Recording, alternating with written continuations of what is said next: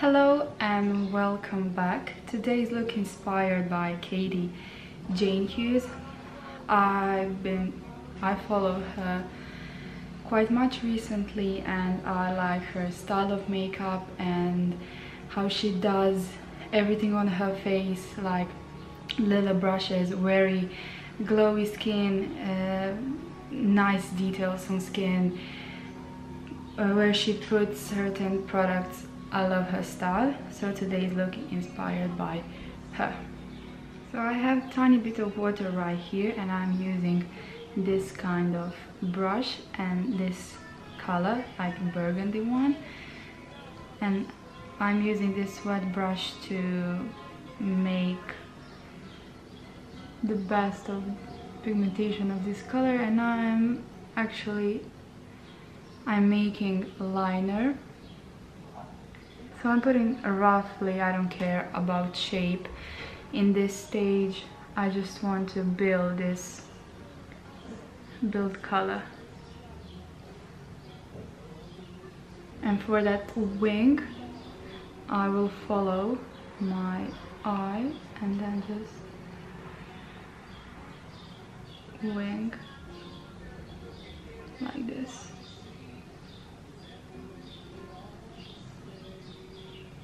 I have some music playing here on my laptop because I like to do my makeup while music is playing.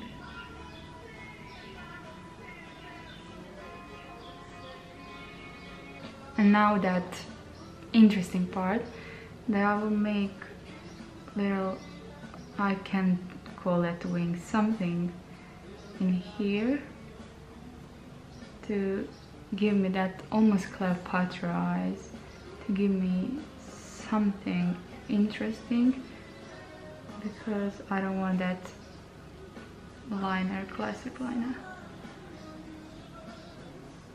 It's gonna elongate my eye and give the dimension something different. It's gonna change my whole eye shape. And see, I have fallout, so that's the reason why I did not put concealer and foundation first.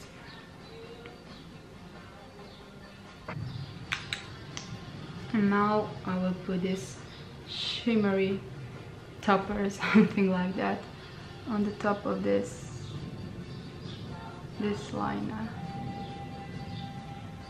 to make it more fun. And I'm putting it straight from this from this bullet. Because later I can fix with q-tip and micellar water.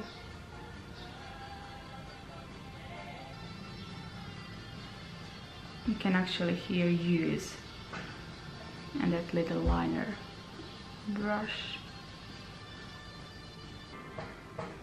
and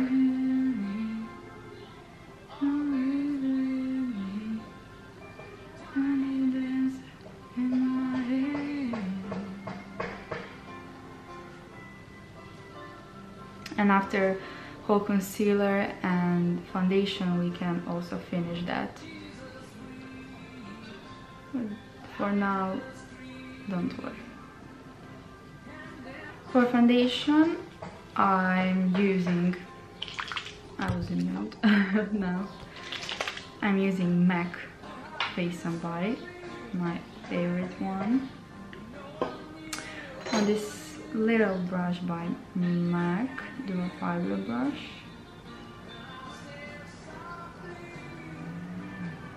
This is very nice summery look for a night out for some party or something like that.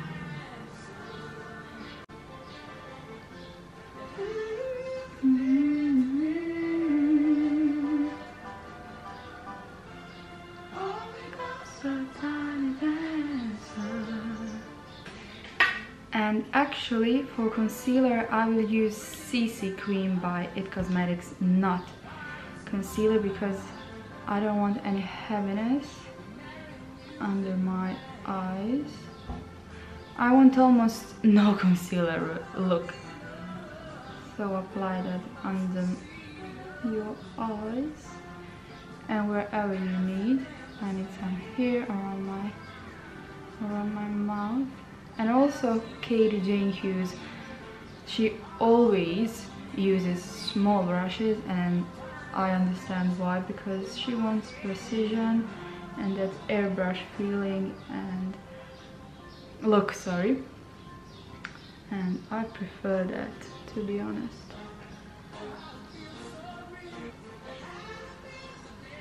And also you can sharpen that that eyeliner with concealer or whatever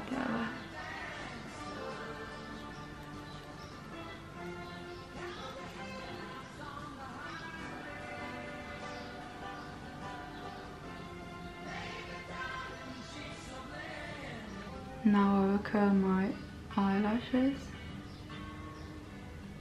Focus your mascara on the outer lashes here.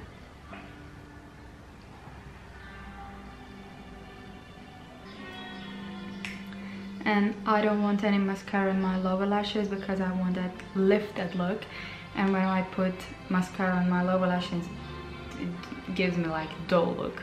I don't want that in this eye.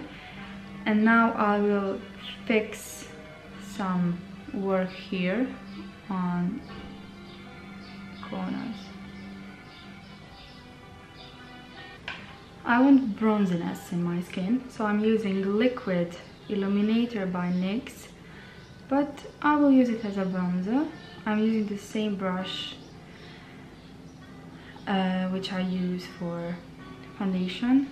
I'm using very light hand with this one because it's crazy pigmented. And don't press hard into your skin because I don't want to move any foundation.